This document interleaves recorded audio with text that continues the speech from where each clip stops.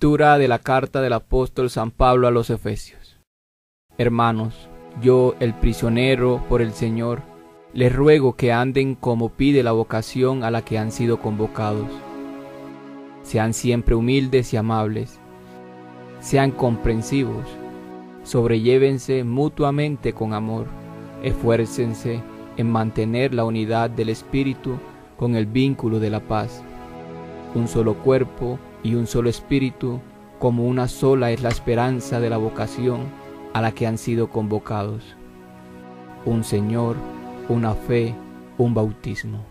Un Dios, Padre de todo, que lo trasciende todo y lo penetra todo y lo invade todo. Este es el grupo que viene a tu presencia, Señor. Del Señor es la tierra y cuanto la llena el orbe y todos sus habitantes. Él la fundó sobre los mares, Él la afianzó sobre los ríos. Este es el grupo que viene a tu presencia, Señor. ¿Quién puede subir al monte del Señor? ¿Quién puede estar en el recinto sacro?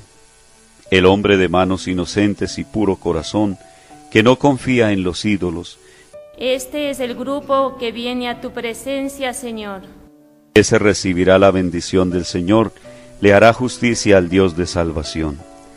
Este es el grupo que busca al Señor, que viene a tu presencia, Dios de Jacob.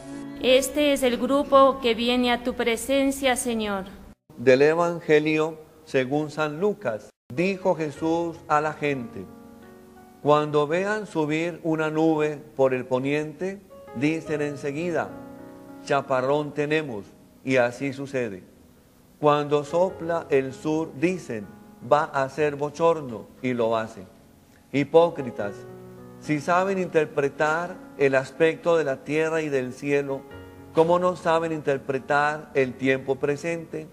¿Cómo no saben juzgar ustedes mismos lo que se debe hacer? Cuando te diriges al tribunal con el que te pone pleito, haz lo posible por llegar a un acuerdo con él mientras van de camino. No sea que te arrastre ante el juez y el juez te entregue al guardia y el guardia te meta en la cárcel. Te digo que no saldrás de allí hasta que no pagues el último céntimo.